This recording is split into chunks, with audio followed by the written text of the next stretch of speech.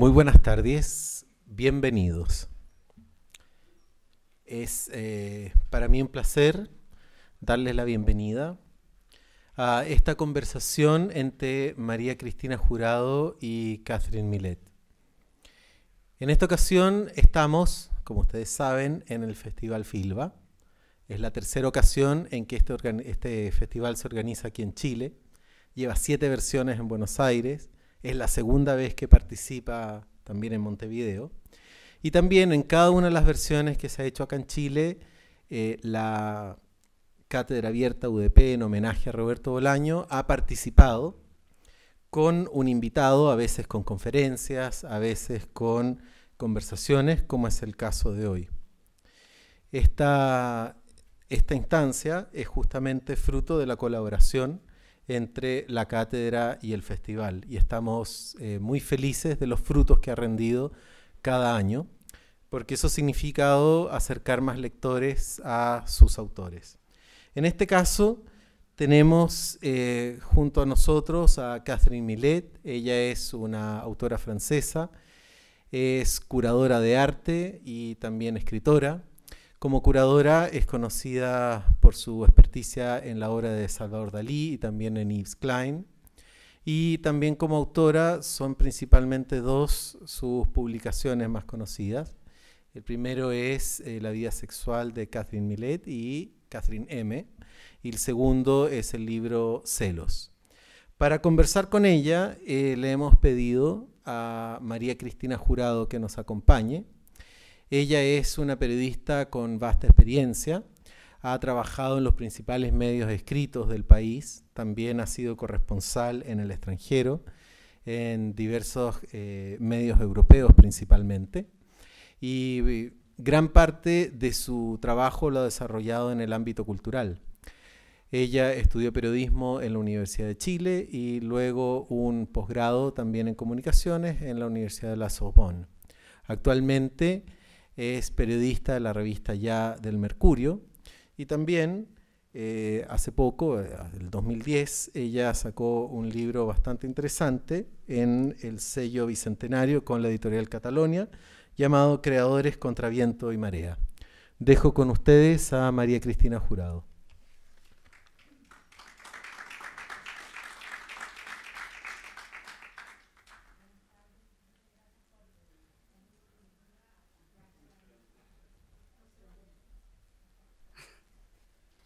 Ahí sí. ¿Ahí se escucha? Oye, eh, quiero darles la bienvenida y agradecerles que hayan venido esta tarde a la Cátedra Abierta Roberto Bolaño de la Universidad Diego Portales. Eh, tenemos una invitada de lujo, Catherine Millet, que es una, un nombre muy importante en el arte contemporáneo del mundo, directora y fundadora de una de las principales revistas de arte contemporáneo en Europa, Apres, que la fundó en 1972. Por lo tanto, es una mujer que ha dedicado su vida al arte. Y como tal, eh, hace, en el año 2001 publicó, se convirtió en escritora de literatura y publicó dos libros extraordinarios que son eh, La vida sexual de Catherine M y Celos, que en francés se llama Jour de souffrance, que quiere decir días de sufrimiento. Eh, muy buenas tardes, Catherine Millet. Bonjour. Como fundadora y directora de Apres, tal vez la revista más influyente de Europa en arte contemporáneo. Eh, quisiera saber qué, cómo ve usted el arte conceptual en Chile y en América Latina y qué hacer sobre todo para acercar este arte, que es un arte más difícil, al gran público. Alors voilà une question à laquelle je ne m'attendais pas. j'ai été, prise au piège parce que j'imaginais qu'on allait tout de suite par, commencer par parler de sexe. et, voilà qu'on me fait parler d'art et d'art conceptuel. En plus. en fait, euh, ça serait très, très audacieux de, de, ma part de porter tout de suite un un jugement sur euh, les artistes auxquels j'ai rendu visite euh, euh, hier et, avant-hier, Mais une chose que je peux dire quand même, c'est que j'ai eu une surprise extraordinaire, à savoir que tout, tout, était de très bonne qualité. j'ai vraiment, quelle que soit la, la, génération, j'ai vu des, des artistes de, de, de 30 ans, même j'ai vu une artiste de 25 ans des artistes de 30 ans, de, de, 50 ans. Ce matin, j'avais rendez-vous avec euh, j'espère que je vais bien dire le, nom, euh, Eugenio Didborn, euh, qui est maintenant un, monsieur assez, assez âgé. Et, et, en fait, tout est d'une qualité très, très, enfin, très étonnante. Je veux dire qu'on fait des voyages comme que, celui que je suis en train de faire là maintenant. On n'a pas toujours l'occasion de faire autant de, jolies rencontres. Bon, j'ai une petite opinion pourquoi, euh, pourquoi il y a cette qualité d'ailleurs euh, actuellement au, Chili. Mais bon, je, ça serait l'occasion d'une conversation plus longue peut-être, je ne sais pas. Vous, n'êtes pas déçu alors? Usted no está desilusionada non, non, non, je suis pas, non, non, je suis pas du tout, pas du tout déçue. Euh, j'ai vu des œuvres qui sont très, très différentes les, les unes des autres, mais très, très personnel. Euh, en fait, vous savez, quand, quand on est un critique d'art euh, occidental, qu'on voyage beaucoup, on a parfois l'impression de voir un peu partout euh, la même chose. C'est pas simplement la culture globale, c'est aussi le marché de l'art global qui impose un peu les mêmes normes à travers le monde. Et je pense qu'ici, au, Chili, vous avez l'inconvénient, mais vous avez aussi la chance d'être euh, isolé ou d'être encore en dehors de, cette circulation euh, du, marché de l'art. Et euh, je n'ai pas de conseils à donner, mais j'ai envie de dire aux artistes quand même, saisissez cette chance pour affirmer une singularité qu'on a perdue souvent ailleurs. Usted es una gran experta en Salvador Dalí y el pintor Yves Klein, sobre los cuales ha escrito libros y ensayos. Y su obra sobre arte contemporáneo es leída como una Biblia en Europa. Sin embargo, tuvo que escribir sobre sexualidad para ser traducida a 45 idiomas y transformarse en un bestseller. Eh, desde el punto de vista de, su intelectualidad, ¿lo siente usted como una especie de ironía?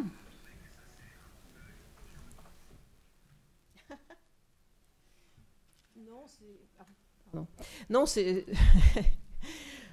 non, d'abord, euh, quand tout le temps où j'ai travaillé sur ce livre, euh, La vie sexuelle de Catherine M., j'imaginais pas euh, que ça allait rencontrer le succès que ça a rencontré. non, j'imaginais pas que j'allais sortir, disons, du, cercle relativement euh, fermé euh, des, spécialistes, des, intellectuels, du milieu intellectuel. Je ne pensais pas que j'allais euh, tout d'un coup toucher le, grand public. J'ai souvent dit que le premier tirage de ce livre était de 4000 exemplaires. Donc par rapport aux chiffres qu'il a atteints après, c'était ridicule. Donc non, c'est c'est normal que le sexe intéresse plus que l'art conceptuel, intéresse plus de gens que l'art conceptuel. Oui. Eh, y a propósito de eso, más de 3 millones de lectores en el mundo leyeron La vida sexual de Catherine M. y Jude de Souffrance, que aquí se tradujo como celos. ¿Qué mensaje fue el que usted quiso entregar y por qué quiso hacer pública esta faceta tan íntima de su vida, que es algo inusual?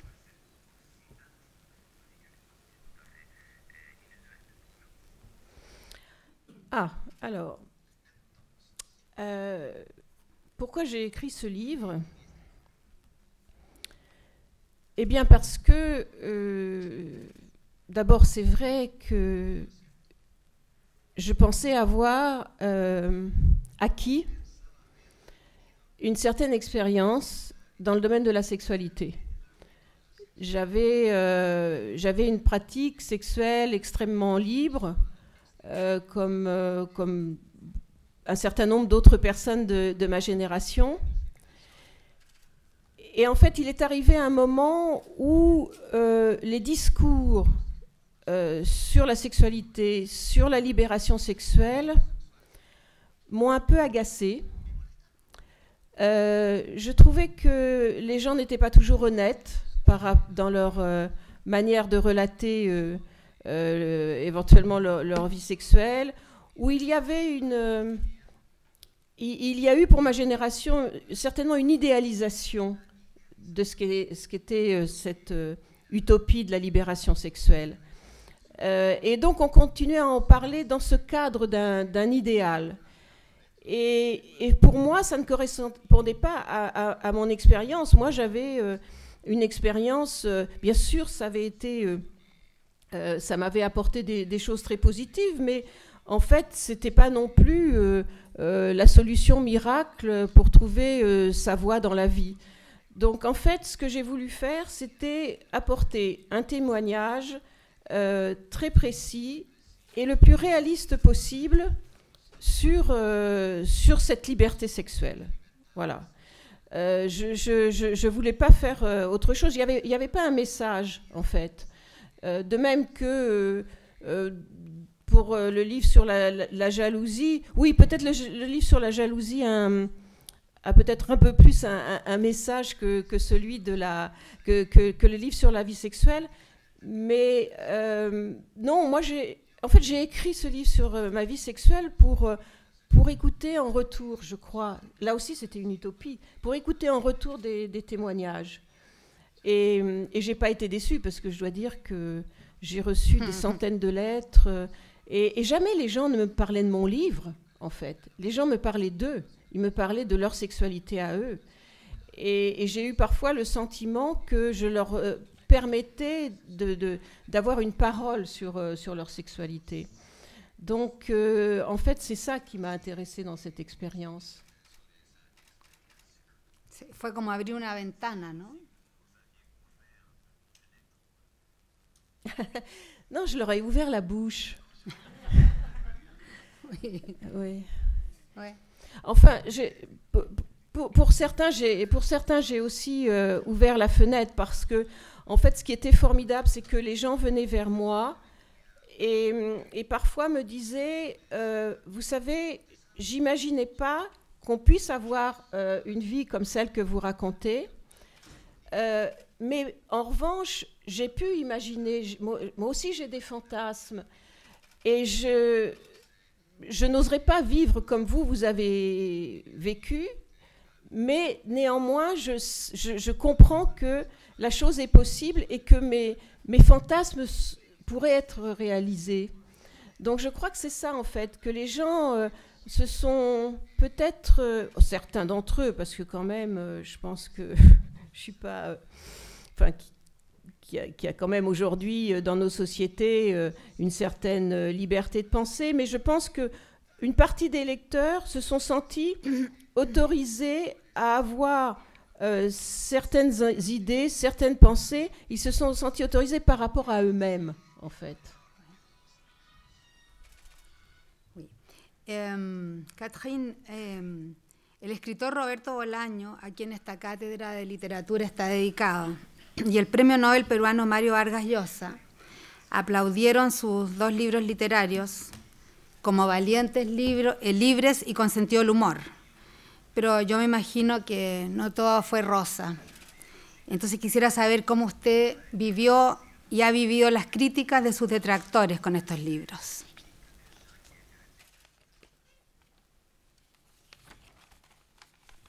Comment j'ai vécu les critiques, les détracteurs en fait, pas si mal, parce que. D'abord parce qu'en fait, euh, j'ai eu cette chance vous avez cité euh, deux noms très très euh, prestigieux de, de, la littérature. J'ai eu cette chance, il y en a eu d'autres, quelques autres. J'ai eu cette chance d'être tout de suite soutenue par un certain nombre de, journalistes, d'intellectuels, d'autres écrivains, des artistes. Mm. Mm. Et cela, euh, d'une certaine façon, m'a protégée contre les, contre les attaques. En fait, euh, oui, bien sûr, il y a eu quelques, quelques attaques. Euh, moi, j'ai le souvenir que Baudrillard, par exemple, Jean Baudrillard, qui était une, une signature très, très, très lue en France euh, à ce moment-là avait écrit euh, un article très ironiste et très, très méchant sur, euh, sur mon livre. Mais c'était pas très grave puisqu'il y en avait tellement d'autres qui avaient des, des, commentaires positifs à en faire. Donc j'ai pas j'ai pas j'ai pas souffert en fait de ces de ces attaques. Et, et, et en plus, euh, une chose qui a été extraordinaire, c'est qu'en effet, comme ce livre a eu beaucoup de traductions, j'ai beaucoup voyagé, j'ai rencontré beaucoup de publics, et vraiment, jamais, jamais, je n'ai eu à rencontrer de, discours hostiles, de gestes hostiles de la part du public. Donc, euh, vraiment, j'ai euh, j'avais fini d'ailleurs par avoir une vision très angélique, comme ça, euh, du monde en général et, et, du rapport des gens à la sexualité. Donc, euh, non, ça a été plutôt une, une, expérience heureuse, en fait. Eh, sí, y a veces puede ser sorprendente, ¿no? Porque se habría esperado. Eh, yo pensaba de que en la pregunta de las críticas eh, iba a haber una parte dolorosa para usted.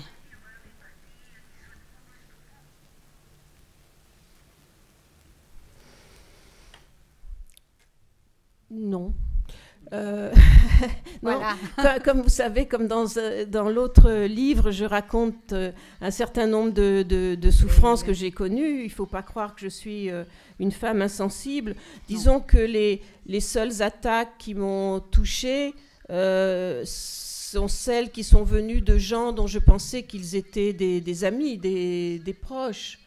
par exemple, je peux citer, je ne sais pas si elle est connue ici, Annie Lebrun qui est une grande spécialiste du marquis de Sade, euh, qui a réalisé d'ailleurs une exposition magnifique l'année dernière dans un musée à, Paris sur le marquis de Sade, avait publié un, article ravageur sur, euh, sur mon livre. Et ça, ça m'a, ça m'a blessée parce que je la considérais comme une amie. Mais sinon, je, non, non, je, je, vous promets que je ne vous mens pas euh, et que c'est pas que j'aurais oublié 15 ans après. C'est bien passé. Quoi. Oui, oui, oui. Eh, como creadora y mujer de arte, y habiendo sido traducida a 45 idiomas, ¿alguna vez reconoció que, se interesa, que usted se interesa sobre todo en el arte por lo que jamás se ha hecho antes? Eso a, mí, a mí, de mi manera de ver, eso la situaría usted en la frontera entre la innovación y la ruptura. ¿Siente que sus libros autobiográficos van en esta corriente, que es un poco una corriente de avant-garde, ¿no? Alors là, la réponse, elle est oui.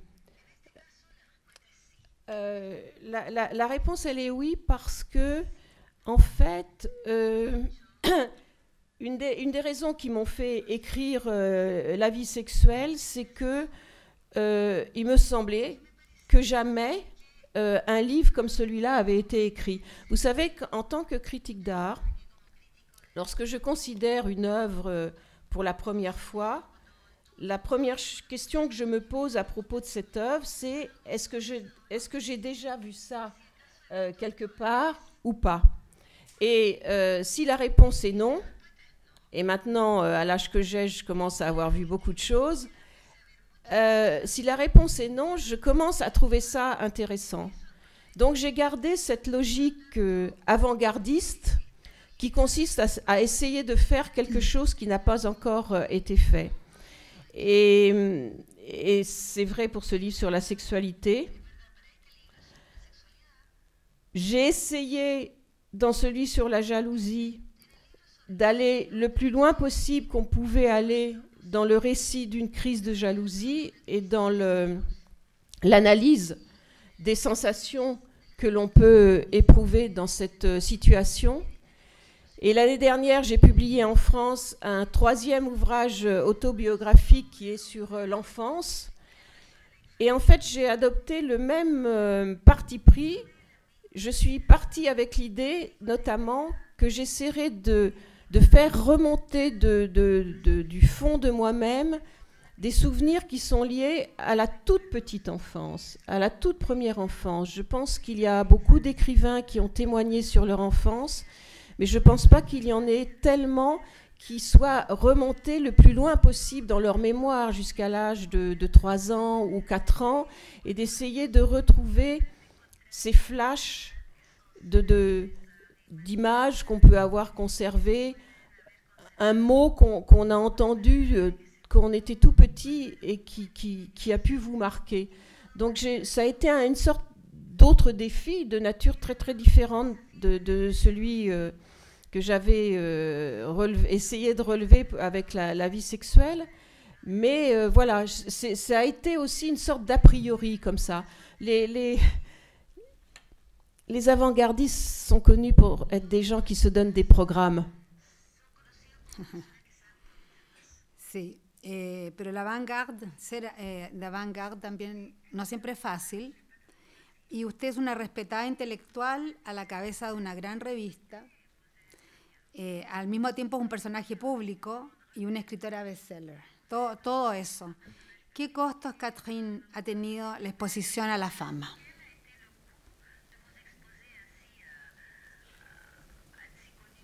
A la celebrité.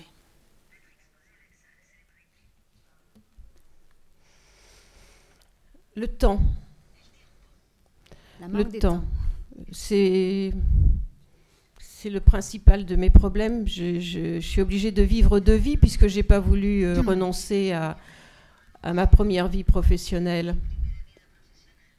Donc, euh, donc c'est toujours euh, ça, ça, par exemple, c'est quelque chose qui me fait beaucoup souffrir. Comme le temps passe, ça me fait de plus en plus souffrir. Mais ça, hmm. c'est, je crois que je le partage cette sensation avec beaucoup de gens. Euh, le coût. Non, je, pense. Enfin, donc c'est ma, ma, réponse, c'est presque une plaisanterie parce qu'elle est, elle est très banale comme ça. Mais en fait, euh, j'ai pas eu à, j'ai pas eu à payer. Ce que j'ai eu, le, ce, que je, ce qui des fois est, pénible, euh, c'est le travail de l'écriture. C'est cette espèce d'honnêteté absolue que je voudrais atteindre. Ça, ça c'est quelque chose des fois de, très difficile. Alors, dans le cas de la vie sexuelle, euh, ça a été une enquête que j'ai menée sur moi-même et auprès de mon entourage pour essayer de vérifier les faits, d'être la plus exacte possible dans leur relation.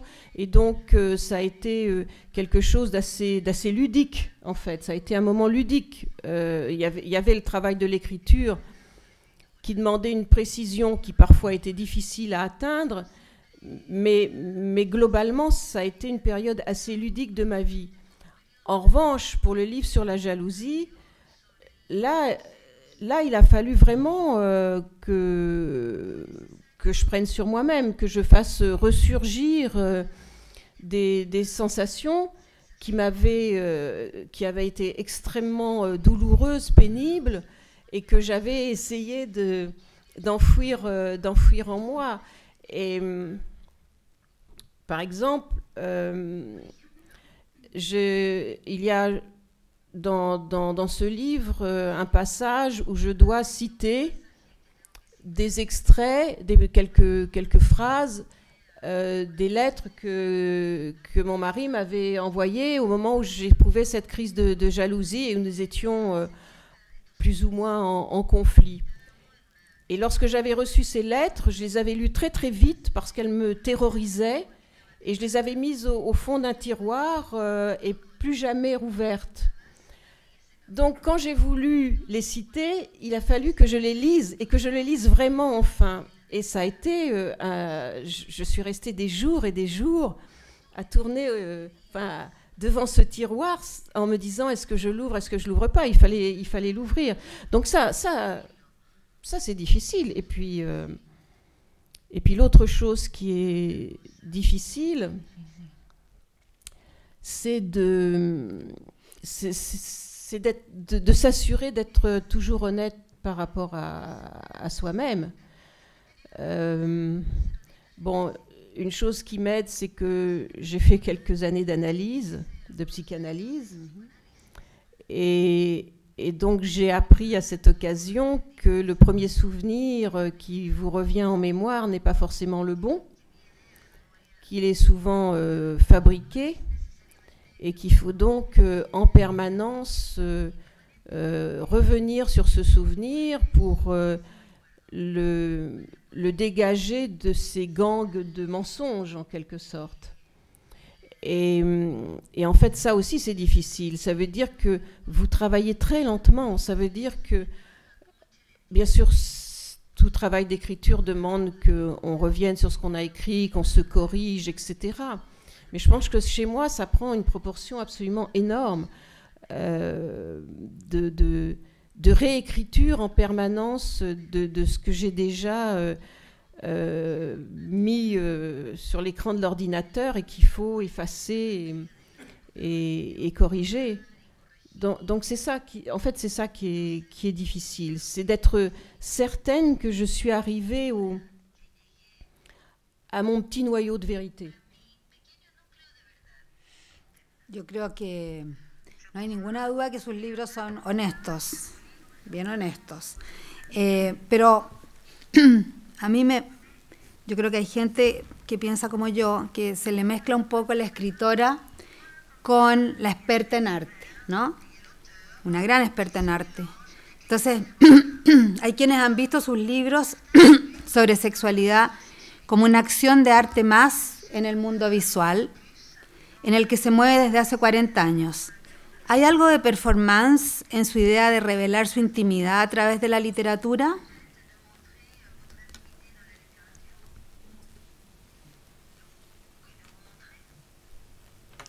Euh, performance, non. Euh, non, je je, le vis pas comme ça. Enfin, disons, disons que je le. C'est. Si, si on emploie ce mot de performance, je dirais qu'il euh, qualifierait plus l'expérience de rencontrer le public une fois que le livre est écrit, plutôt que euh, l'écriture même du, livre, disons la, mise à nu de, sa personne. Pour moi, celle qui, habite mes, livres, c'est déjà quelqu'un d'autre en quelque sorte. Donc j'ai j'ai pas de pudeur. en tant que femme, je peux avoir une pudeur, mais en tant qu'écrivain parlant de ce personnage qui s'appelle euh, Catherine, je n'ai vraiment aucune pudeur.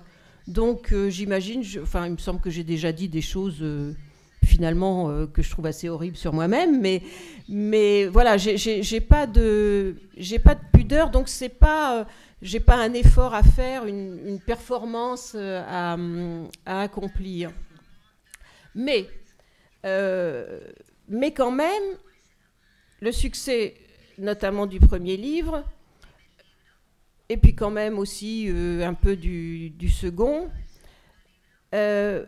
m'ont mis en effet dans, la situation d'être exposé aux yeux de, beaucoup de gens.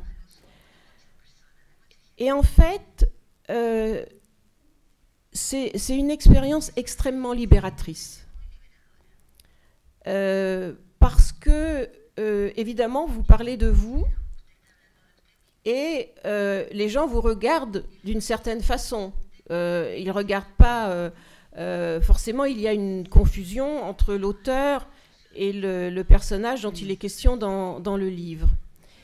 Et je me suis rendu compte que finalement, tous ces regards euh, qui se portaient sur moi, comme en ce moment, euh, en fait, me libéraient de moi-même. C'est-à-dire que j'ai l'impression que euh, je, je, me disperse en quelque sorte entre tous les points de vue. Vous me posiez la question tout à l'heure, de savoir si des critiques formulées dans, la presse m'avaient blessé. C'était des regards portés sur moi parmi beaucoup d'autres. et après tout, peut-être qu'il y avait dans ces regards des jugements qui n'étaient pas si faux, après tout. Et je, me suis rendu compte que tous les jugements qui étaient portés euh, via mon personnage sur ma personne euh, euh, m'intéressaient, en fait. C'est comme si je déléguais aux autres le fait de me juger et qu'en quelque sorte, ça me libérait, moi, d'avoir à le faire. Donc, c'est même, euh, je dirais que c'est une, euh, c'est une expérience même assez, assez agréable. Euh, on, se, on, est, on sort de soi-même. Et, là aussi, c'est, c'est une sensation de, de, grande liberté. Et vous avez cité mon, mon travail sur Salvador Dali. Je crois que c'est ce travail qui m'a aidé à, à, comprendre cette sensation, toute proportion gardée. Je suis quand même quelqu'un de beaucoup moins célèbre et moins exposé que Salvador Dali. Mais Dali a très bien exploité euh, tous ces regards euh, qui se portaient sur lui et il, a, il, acceptait tout. On le traitait de clown, il disait oui, je suis un clown. Euh, et d'autres lui disaient non, vous êtes un génie, oui, je suis un génie. Donc en fait, je comprends tout à fait ce, ce comportement. Et, hum, et je, pense qu'il n'y a pas. Euh, je crois qu'il n'y a. Je ne crois pas à l'unité de la personne. Et, donc voilà, l'expérience de, cette exposition de, moi-même m'a renforcé dans cette conviction. Catherine, entrando en temas un poco más eh, íntimos, usted vivió según contó en sus libros, usted vivió muchas veces un ambiente de violencia en su casa paterna, en su casa de origen, que después revivió con una de sus parejas, con Claude. Entonces yo le quería preguntar si acaso usted considera que el artista tiene que ser sufriente, por un lado, como hay muchos artistas que, lo han considerado así en la historia del arte, y por otra parte, si el arte le ha servido de escape de algunas situaciones difíciles en su vida.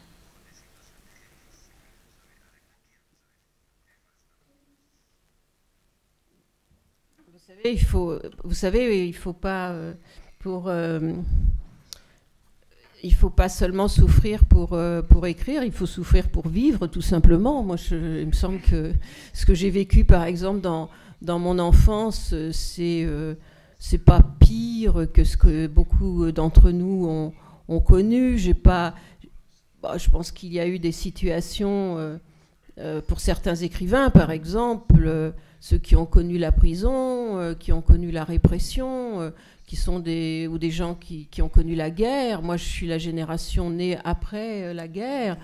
Donc franchement, notre expérience de, de, la souffrance, elle est très limitée par rapport à ceux qui, qui, ont connu malheureusement ce, ce genre d'expérience. Non, je pense pas hmm. que je pense pas qu'il soit nécessaire de, de souffrir pour euh, pour accomplir euh, une œuvre ou faire un travail quoi d'une façon d'une façon générale. Et moins on souffre et mieux ça vaut finalement. Mais euh, mais Bon, je, c'est une vision complètement romantique, ça, celle de la, bah oui. de la souffrance obligatoire. Euh, non, je ne crois pas qu'elle soit absolument nécessaire. ¿Y le ha servido el arte de escape de alguna situación dolorosa? Todos hemos tenido situaciones dolorosas en la vida, y usted también.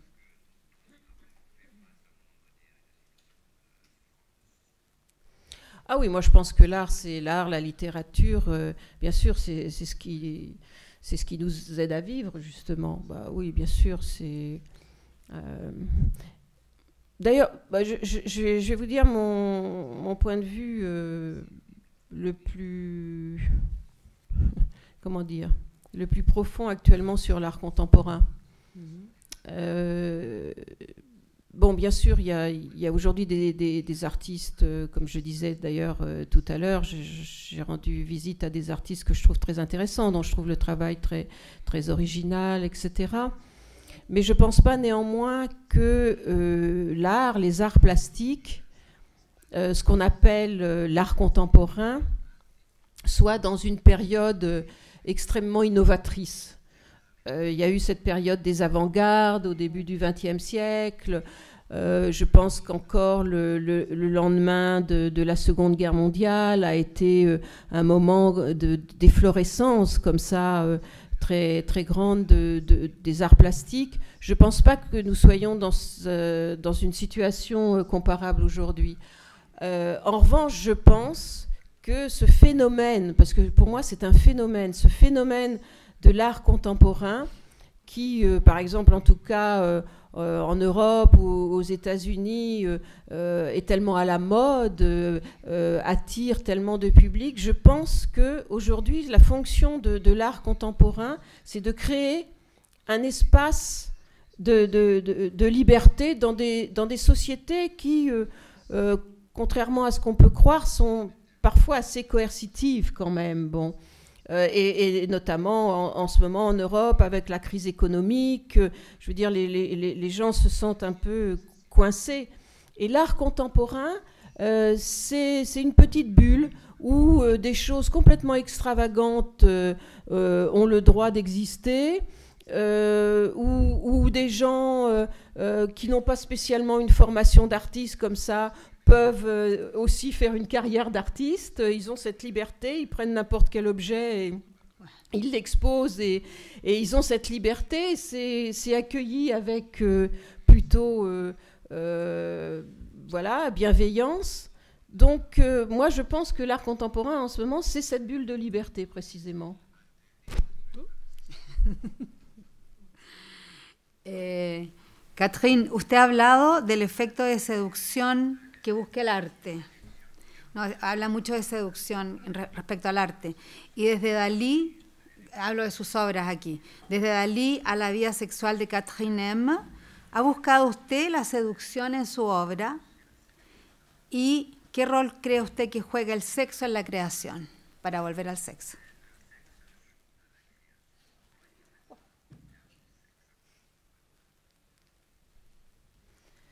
Ah, alors, la séduction. Bah, est-ce que on peut désigner du mot de séduction euh, le fait que l'auteur euh, cherche à, retenir son lecteur euh, avec des phrases dans lesquelles ce lecteur se sent bien? Est-ce que ça, ça relève de, la séduction euh, J'ai le souvenir que lorsque j'écrivais La vie sexuelle, j'avais ce souci. J'étais consciente que euh, certains sujets que j'abordais, certaines scènes que je décrivais, pouvaient euh, éventuellement choquer ou dégoûter certains lecteurs. Donc en fait, mon souci, c'était de faire en sorte que ces lecteurs euh, puissent continuer leur lecture sans avoir le réflexe de refermer ce livre en disant euh, Oh, c'est un livre pornographique, j'ai pas envie de, lire ça.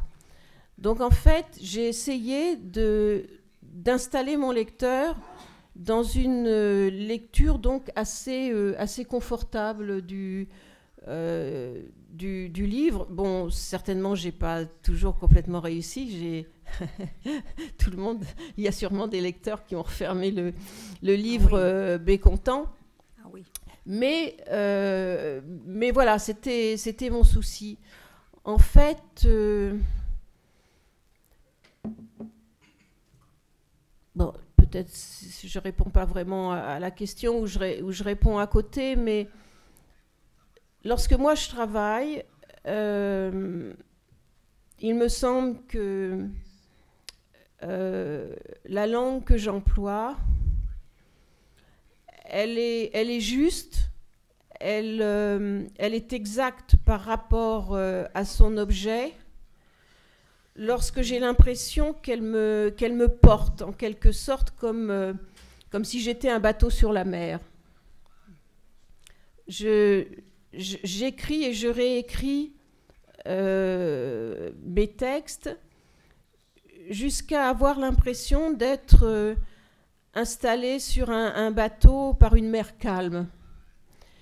Et, si je travaille avec comment dire, cette image en tête, c'est parce que je veux que, euh, je souhaite que mon lecteur euh, éprouve la même sensation d'être euh, d'être porté par, par un bateau assez sûr sur, sur une mer calme. Voilà, donc, donc je ne sais pas si c'est de la, de la séduction, mais voilà, c'est en tout cas la recherche d'une complicité, sûrement avec ah le avec l'auteur, avec le avec l'auteur, oui, avec euh, avec, le avec, le lecteur. Oui. y, y la segunda parte de la pregunta es qué rol cree usted que juega el sexo en la creación en general y también en su obra?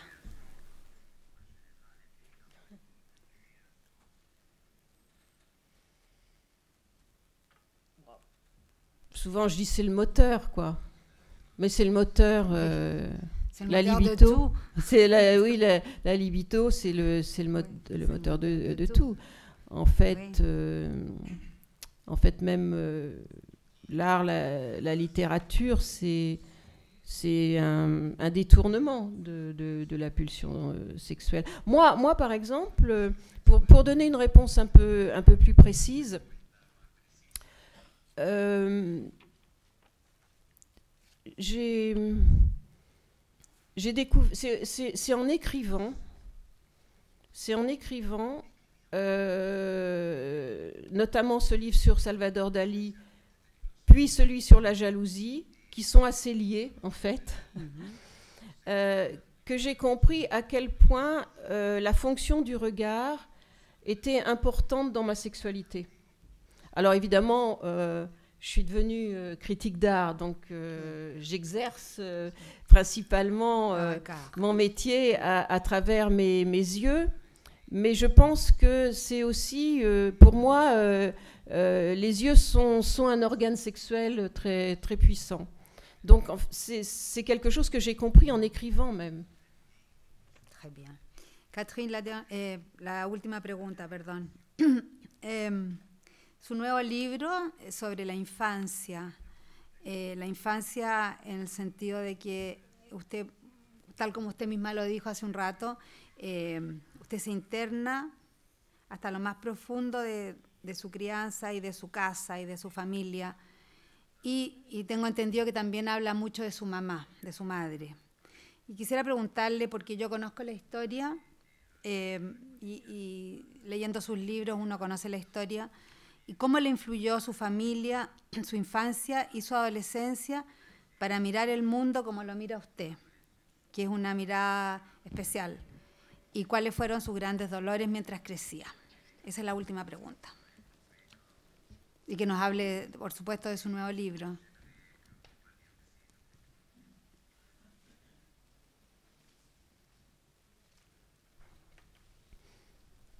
Ah, Alors, euh,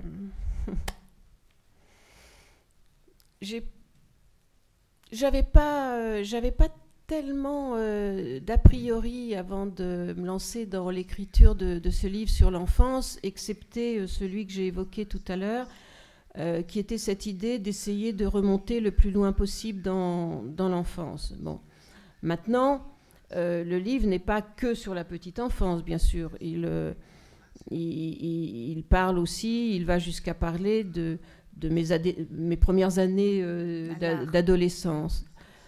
Euh, en fait, euh, est-ce que j'ai essayé d'expliquer celle que j'étais devenue dans ce, dans ce livre? Non, je ne crois pas vraiment. je pense qu'à nouveau, il y avait une certaine extériorité euh, qui, se, qui se manifestait au moment de, l'écriture du, livre. Euh, en plus, euh, peut-être d'autant plus facilement que quand même, je suis plus éloignée dans le temps de cette petite fille que je ne l'étais de la femme jalouse, par exemple, du livre précédent. Et en fait, l'objectif que je me suis découvert finalement au fur et à mesure de l'écriture, c'était comment j'avais pu, enfin c'était d'expliquer quand même comment j'avais pu rentrer dans ma vie d'adulte sans a priori moraux. Voilà, peut-être on peut dire ça comme ça. Euh, il, est, clair que euh, si j'ai eu cette, euh, cette vie sexuelle très, très libre, c'est que je n'étais pas entravée par des principes moraux et qui m'auraient été inculqués, par exemple, par, par mon éducation. Alors, la chose s'explique, c'est que mes, mes, parents vivaient sous le même toit, mais avaient des vies amoureuses et sexuelles séparées, ce qui crée évidemment beaucoup de conflits. Euh, dont ils se cachaient pas forcément euh, euh, devant, devant leurs enfants. Et bon, moi, quand je, quand je voyais mes parents se disputer, se battre même, bien sûr que je souffrais, comme tous les enfants souffrent, à voir leurs parents se, déchirer. Mais finalement, je, je, crois qu'ils m'ont rendu service. Ils m'ont rendu service, ils m'ont exposé, ils m'ont pas, ils m'ont pas menti sur ce qu'était la vie, euh, ils m'ont pas donné d'explication, mais ils m'ont montré qu'est-ce que c'était la réalité de la vie. Et, euh, voilà, c'est, je, pense que c'est quelque chose qui finalement m'a, m'a aidé. Euh, je, je,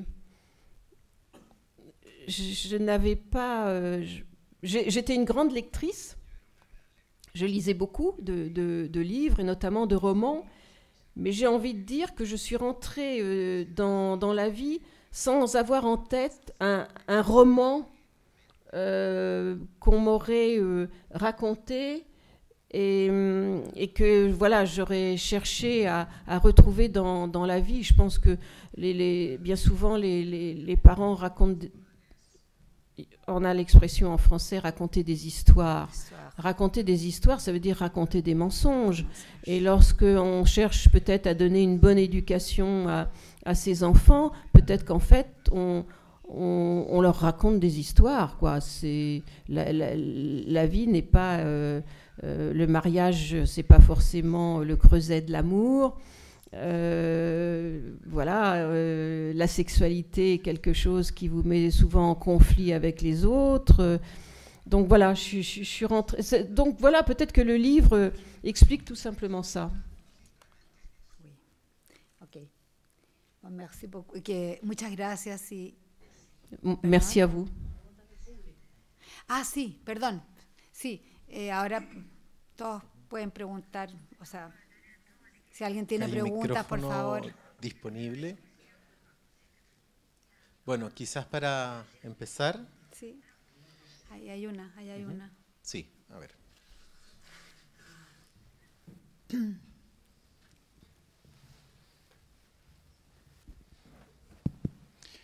Je vais essayer de poser la question en français.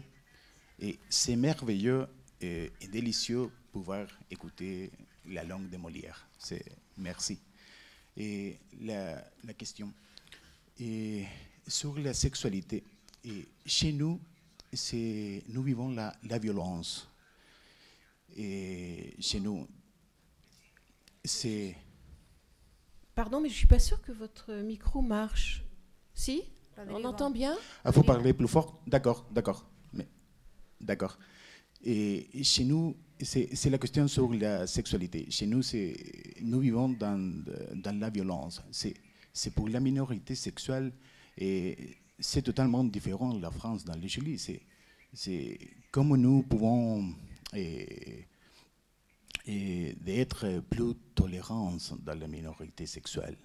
C'est ça la question. Parce que le Chili, c'est totalement différent dans la France.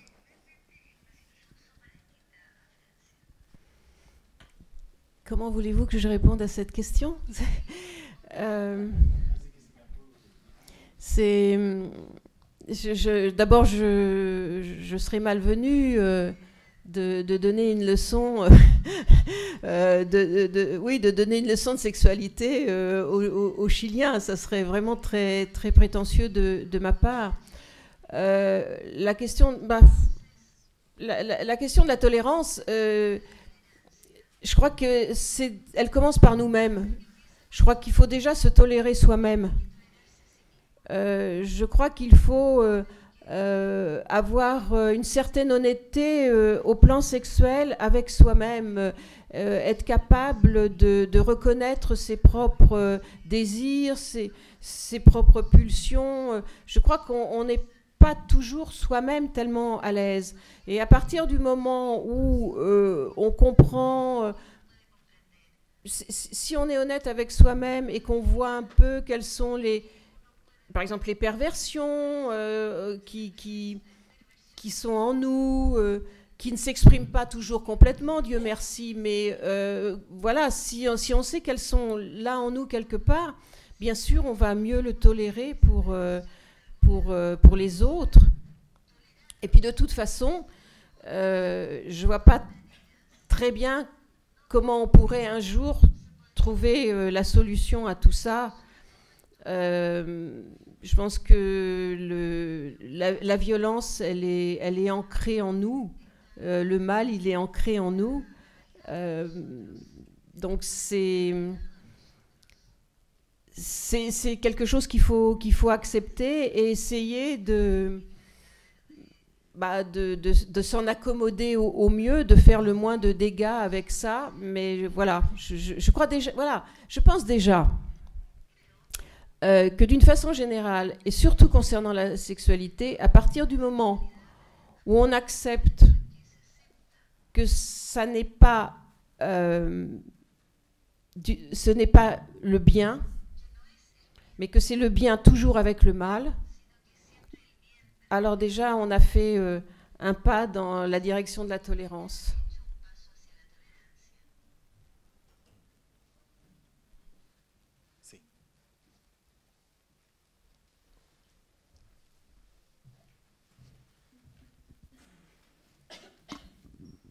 Bonjour. Eh, quería hacer una pregunta acerca de la mirada con respecto a la sexualidad, entendiendo la mirada eh, desde la perspectiva eh, masculina y femenina y cómo se sexualiza eh, o, cómo se da la sexualidad entendiendo la mirada, porque el, hombre, por ejemplo, podría ser quizás más literal o, o por... ¿Quién se cayó? quelqu'un qui est tombé.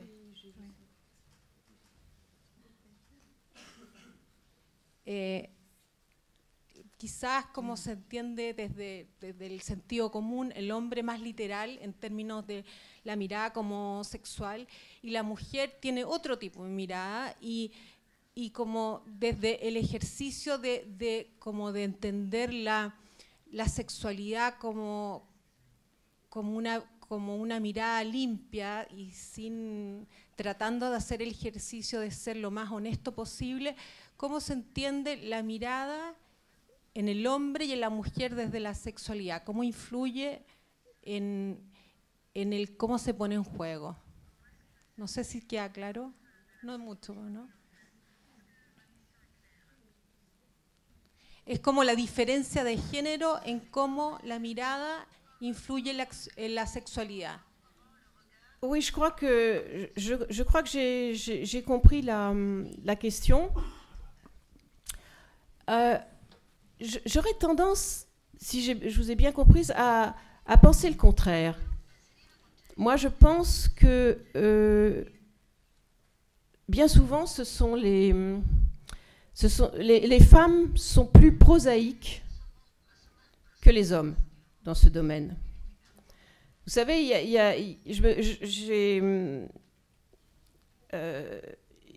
a, un exemple euh, qui, m'avait beaucoup frappé.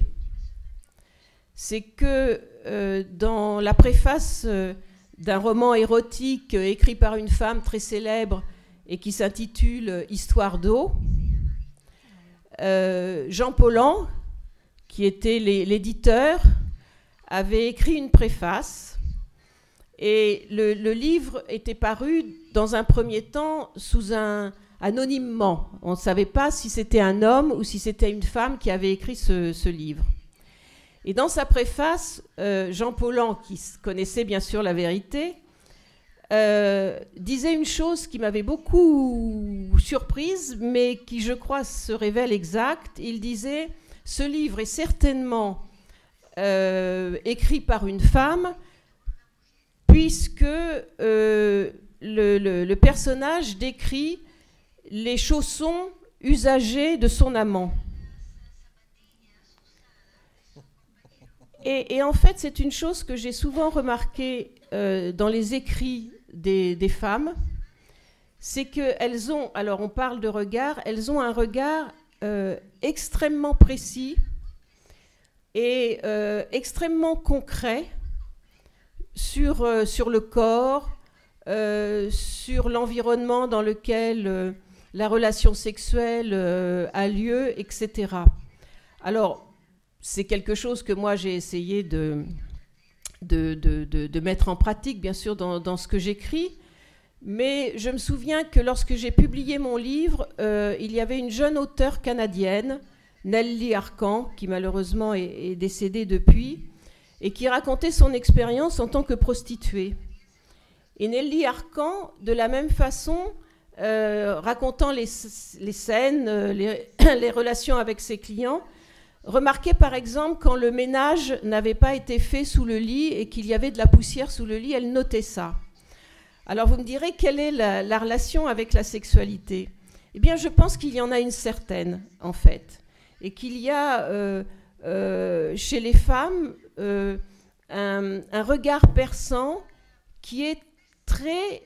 et là aussi ça peut paraître surprenant de, de faire cette affirmation, qui désidéalise la relation sexuelle, qui désidéalise l'amour.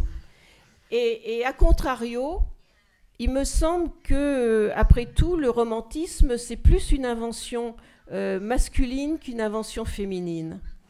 Et qu'il y a, euh, peut-être qu'on pourrait euh, essayer d'étudier ce, sujet d'une manière plus approfondie pour en trouver l'explication que, l'homme a peut-être plus besoin, étant donné sa position dans le rapport euh, entre l'homme et la femme, du soutien de l'idéalisation. Voilà. C'est la réponse que je peux, que je peux vous apporter.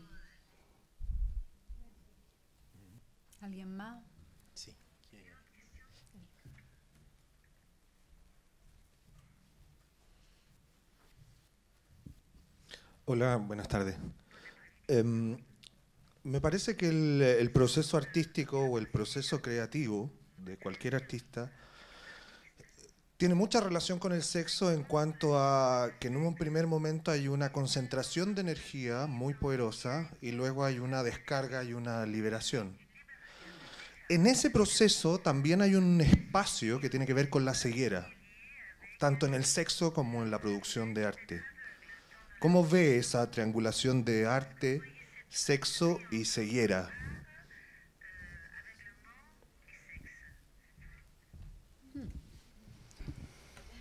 Bon, c'est une question difficile. Oui, c'est difficile. um, bon, je, oui, le, le, le processus que, que, vous décrivez, il est sans doute assez, euh, assez exact. En fait, la, vraie question, elle, porte plutôt sur, euh, sur cet aveuglement.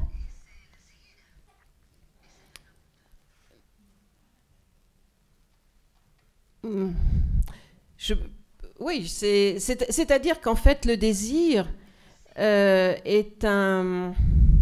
Enfin, tel que moi, je, il me semble, j'en ai l'expérience, c'est un phénomène de focalisation. et parfois la focalisation suscite, enfin, provoque, entraîne l'aveuglement. Alors certes, la focalisation vous rend aveugle à tout ce qui est extérieur au point que, vous fixez, mais euh, il y a aussi dans la focalisation une concentration euh, qui a quelque chose à voir avec l'obsession et qui fait que euh, ce point que vous fixez, ce, désir que vous voulez absolument satisfaire est trompeur, que, c'est une illusion, que comme dans la peinture de Dali, il y a quelque chose d'autre derrière l'image que vous croyez voir. Donc je pense que euh, cette question d'aveuglement est... Oui, je pense que vous avez raison, que c'est euh, assez exact et que le, désir retombe, aussi bien le, désir de, l'amoureux, de, l'amant, que le désir de, l'artiste d'accomplir une certaine œuvre, euh, ce, ce, désir retombe le jour où il ouvre les yeux sur l'objet qu'il a atteint et qui se dit ça n'est que ça.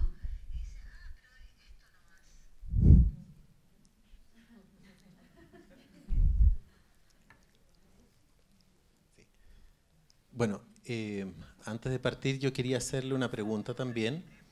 En esta universidad se cultiva la literatura, también las artes como parte de las disciplinas. Y mm, en una de las materias donde a veces nos juntamos, es en el estudio de la poesía visual, la poesía concreta. Y yo quería preguntarle sobre el caso de Ian Hamilton Finlay, que en el año 1987 estaba invitado a eh, hacer una instalación para los 200 años de la Revolución Francesa. Quisiera saber, ya con la perspectiva histórica, si su exclusión de esta celebración se debieron a motivos políticos, motivos estéticos o, eh, digamos, o quizás a otros criterios que ahora, hoy día vistos con la distancia, merecerían otra reflexión.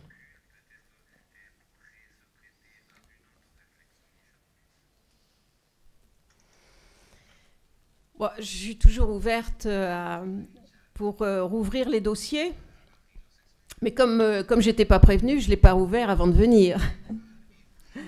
Euh, c'est très amusant, euh, une question qui, qui arrive comme ça, assez, assez inattendue.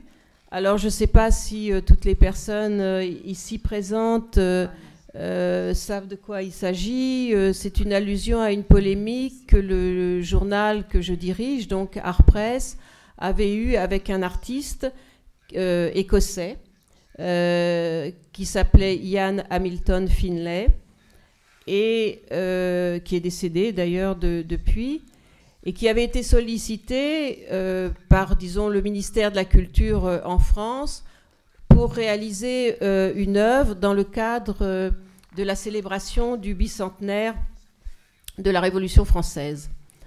Et il se trouve que cet artiste avait peu de temps auparavant exposé des œuvres euh, qui portaient euh, des signes nazis, euh, qu'il avait dans certaines œuvres fait, fait l'éloge de, la période de la Révolution française qui est celle de la terreur. qu'il y avait des éloges notamment de, Saint-Just qui était sans doute l'un des révolutionnaires euh, les plus euh, radicaux et il faut dire aussi euh, les plus, pardon, mais les plus sanguinaires d'une certaine façon. Donc nous, nous avions à Arpress mené une campagne pour poser la question est-ce que cet artiste est le mieux placé pour réaliser une œuvre commémorant la, déclaration, c'était la déclaration des droits de l'homme. Et euh, en fait, au terme de notre, euh, au terme de notre euh, polémique, de notre campagne, cette, cette, cette, commande passée par le ministère de la Culture lui a été annulée. Et, ça a été une, bagarre terrible. Par exemple, exemple, parce que cet artiste ne sortait jamais de chez lui. Donc il envoyait ce qu'il appelait les brigades de Saint-Just, dans mon, dans mon souvenir, c'est-à-dire des gens qui allaient accomplir des actes assez agressifs pour, pour lui.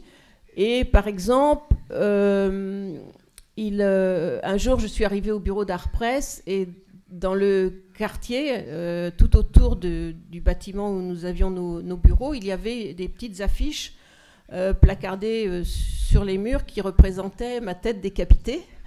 Donc, c'était pas très très agréable. et puis et puis voilà, il a il nous a fait un procès. Il a perdu ce procès. J'avoue que j'ai jamais rouvert le dossier. Là, j'ai parlé que des faits euh, publics, mais euh, il se trouve qu'on avait eu accès aussi euh, à une correspondance privée qu'il avait eue avec un collaborateur et qui pouvait laisser entendre de sa part un certain antisémitisme.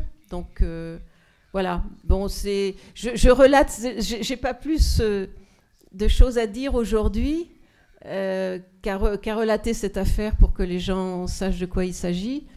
Mais euh, si j'ai eu l'occasion de réviser mon jugement sur cet artiste depuis, je vous dirais que non. Voilà. Muy bien, muchas gracias. Eh, como ustedes saben, el Festival Filba continúa. Todavía queda un próximo evento. Así que eh, yo quisiera agradecerles en nombre de la organización de Filba y también de la Cátedra Abierta UDP eh, en homenaje a Roberto Bolaño.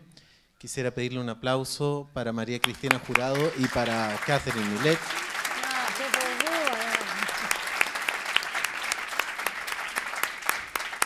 Y también quería pedir un aplauso para ustedes, han sido muy participativos eh, y quería agradecer su presencia acá. Muchas gracias.